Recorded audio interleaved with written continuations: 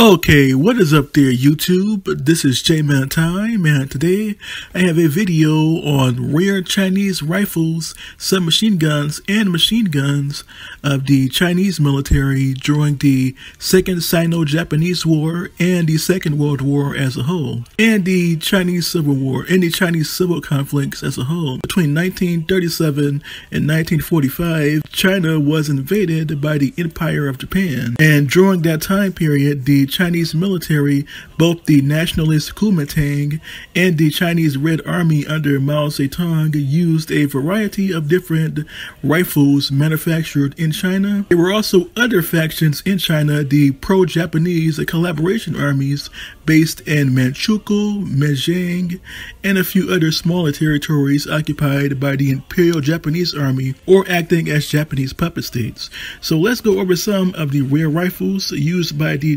Chinese factions during the Second Sino-Japanese War and World War II as a whole. And the first rifle on the list is the Type 29 also known as the Guangdong Shanghai Type 29 from 1907. The Type 29 is a bolt action rifle designed in 1907 1908 and it is actually a copy of the German Mauser model 1907.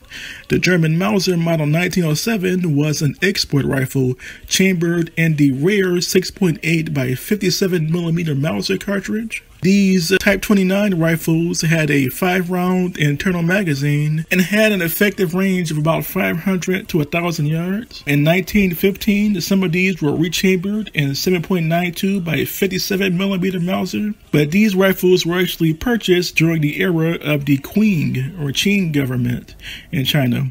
Now, later on, this government was overthrown, and in 1924, China actually descended into a civil war between the nationalist Kuomintang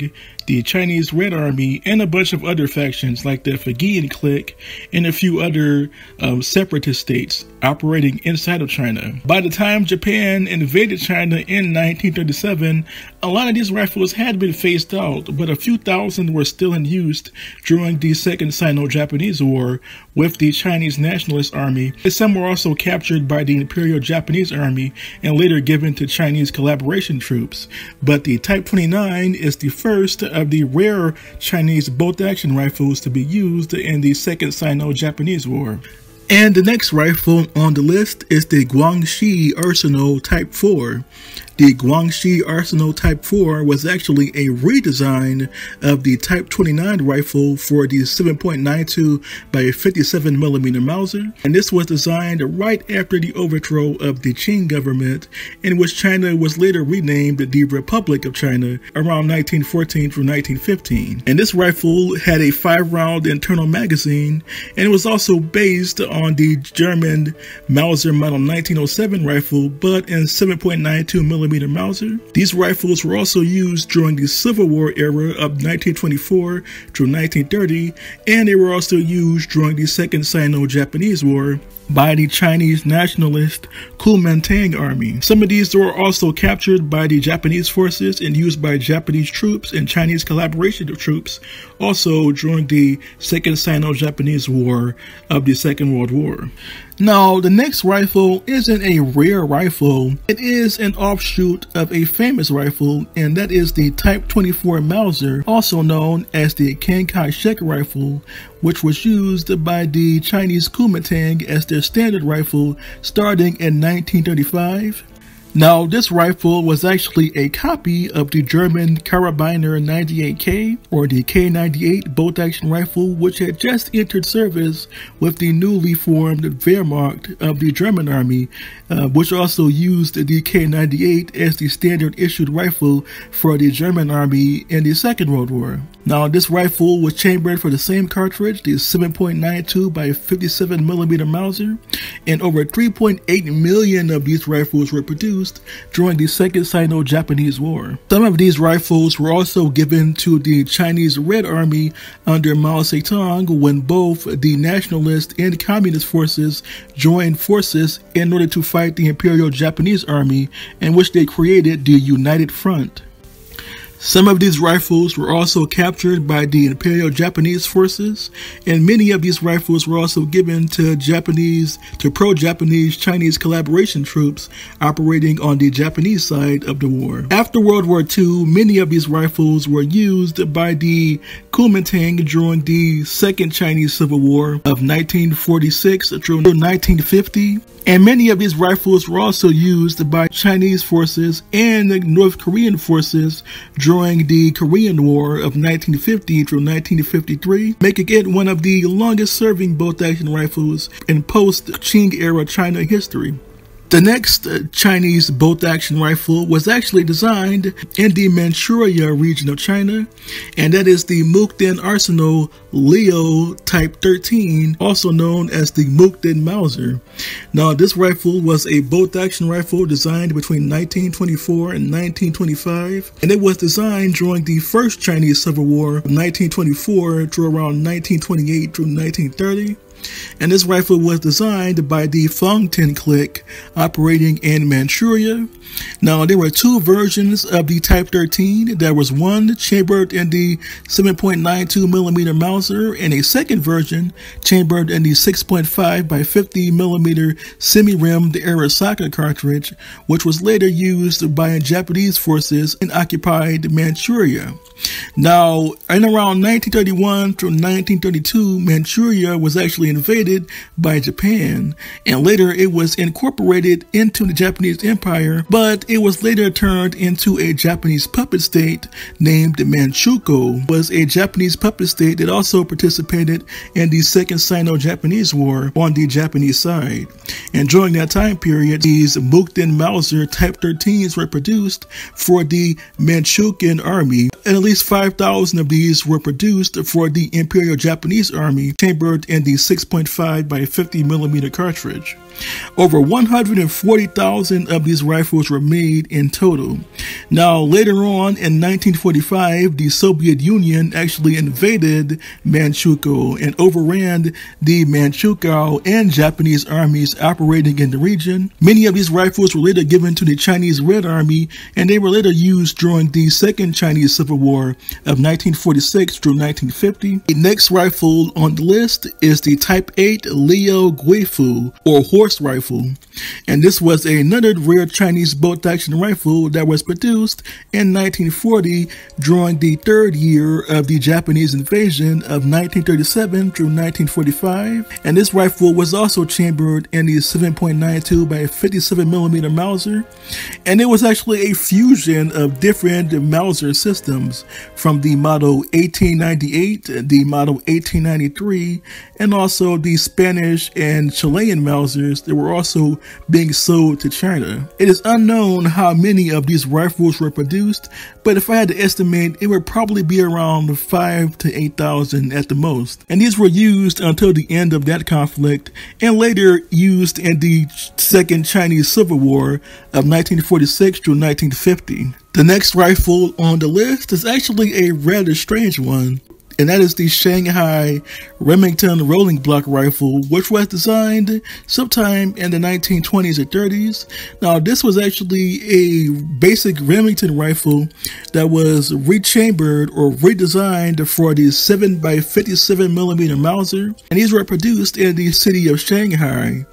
Now, in 1932, Japan actually tried to take the city of Shanghai during the early stages of the Manchuria campaign, but ultimately failed. Later on, in 1937, Japan invaded Shanghai again and later captured the city.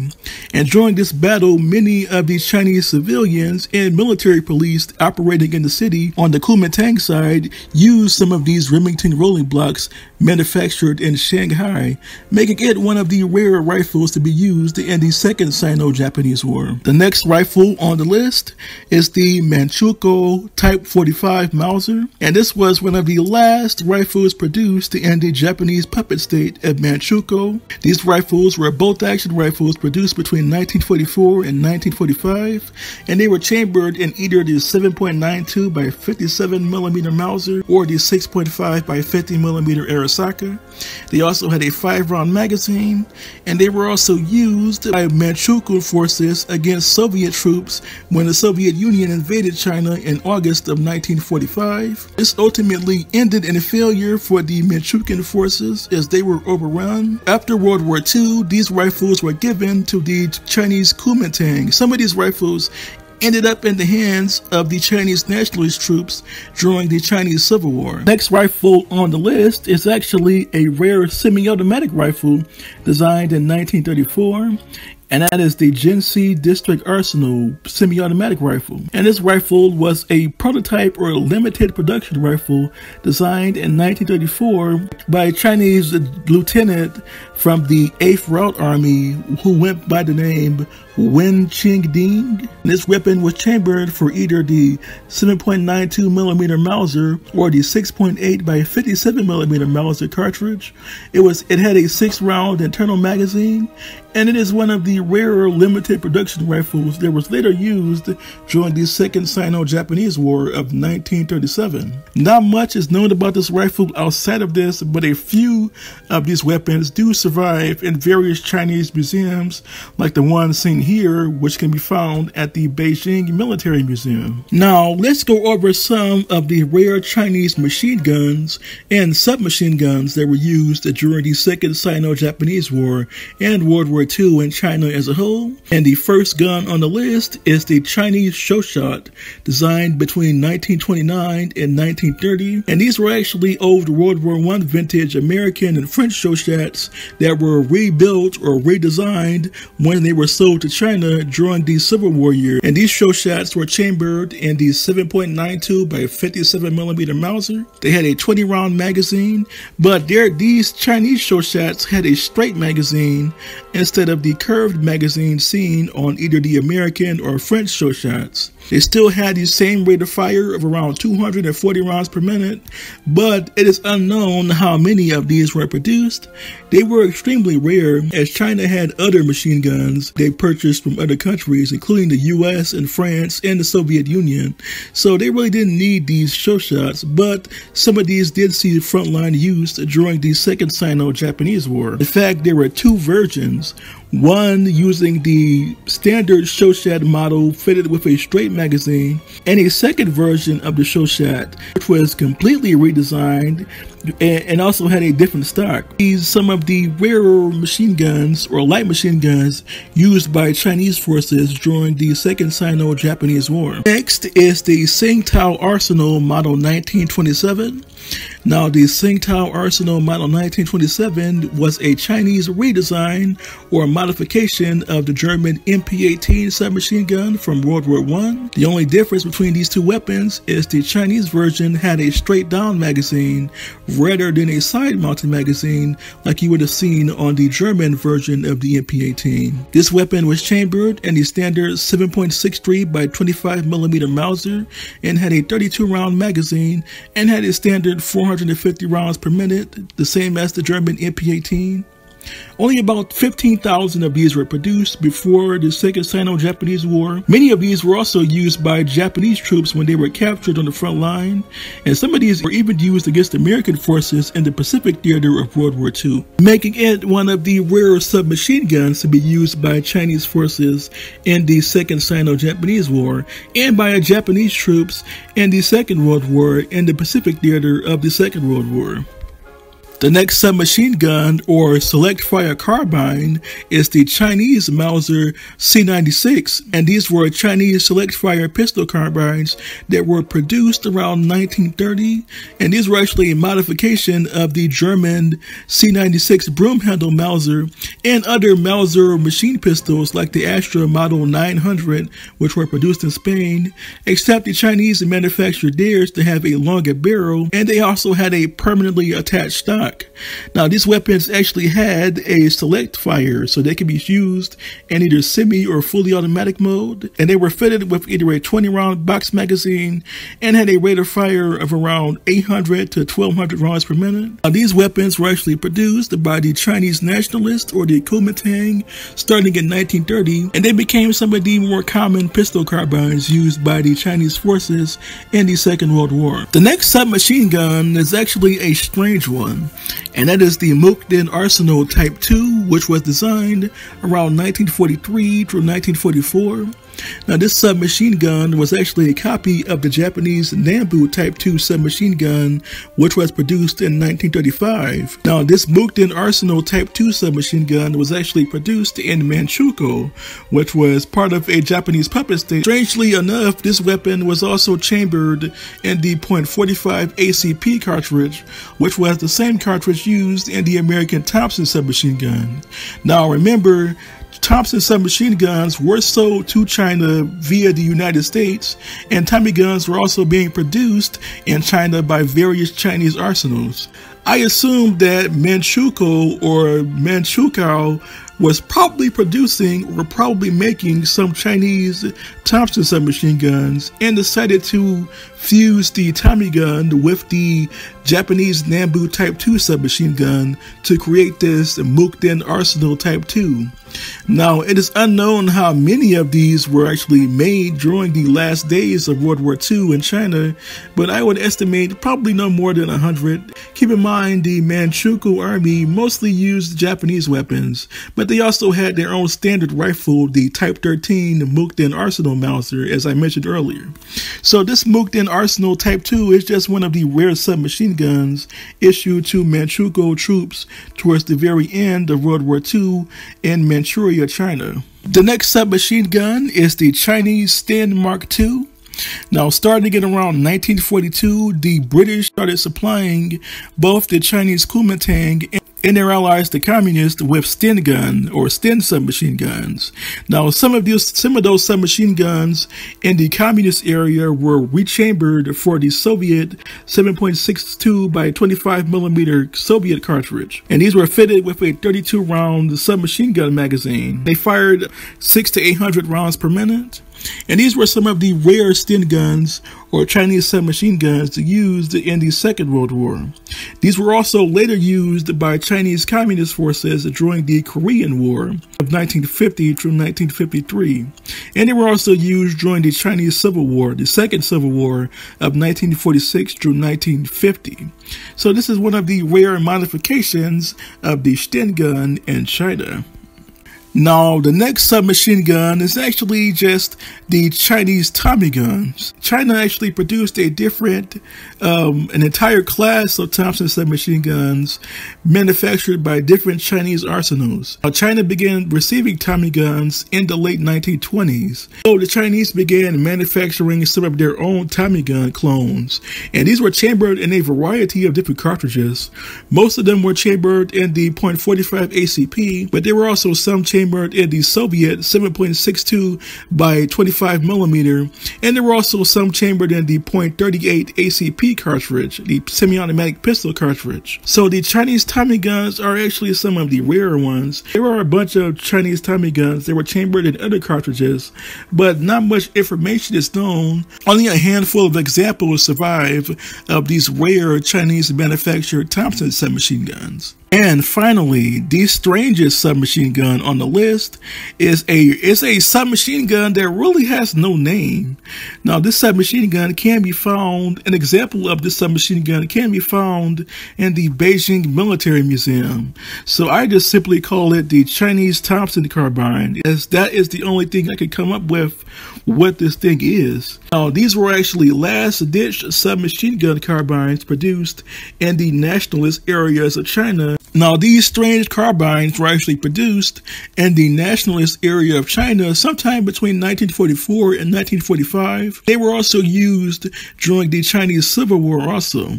So these these uh, Chinese carbines were chambered in a variety of different pistol cartridges, the .45 ACP, the 9 by 19 millimeter Parabellum, the 7.62 millimeter Soviet, and the 7.65 millimeter Mauser, and there were even some produced in .30 carbine. And these weapons had a rate of fire of anywhere from 800 to 1,000 rounds per minute. These machine carbines were also based on a variety of different submachine gun models, from Tommy guns to MP-18s.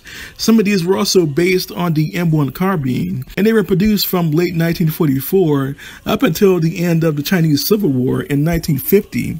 Now, not many of these weapons actually survived, but a few of them have survived, do survive in various Chinese military museums, like the one in Beijing. And that's about it. If I had to choose my favorite, I already chose two of them. My favorites are the Jinsei District Arsenal semi-automatic rifle, the Chinese Thompson carbine. But what are your favorites? Please tell me in the comment section below. And until next time, this was J-Man Time signing off.